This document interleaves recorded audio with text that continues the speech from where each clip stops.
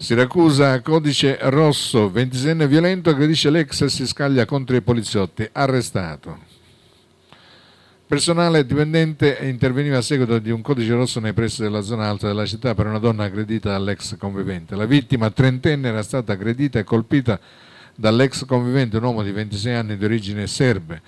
Durante le fasi dell'intervento l'uomo rivolgeva la sua ira anche contro i poliziotti che lo bloccavano e lo denunciavano per i reati di oltraggio, resistenza e minaccia a pubblico ufficiale. Al termine delle incombenze di legge e su disposizione dell'autorità giudiziaria competente l'arrestato è stato posto ai domiciliari in attesa del rito per direttissima.